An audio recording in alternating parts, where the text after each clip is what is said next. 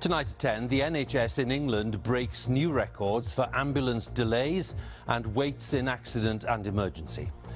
Ambulances took an average of 90 minutes to reach emergency calls for suspected heart attacks and strokes. The target is 18 minutes.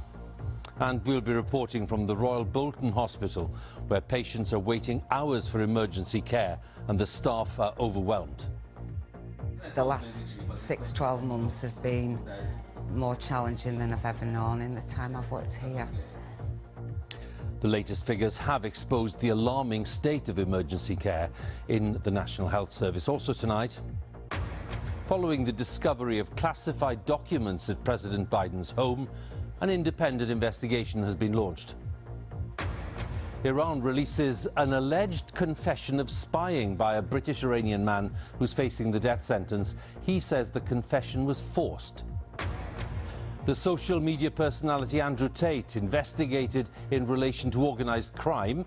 We investigate his popularity among young people.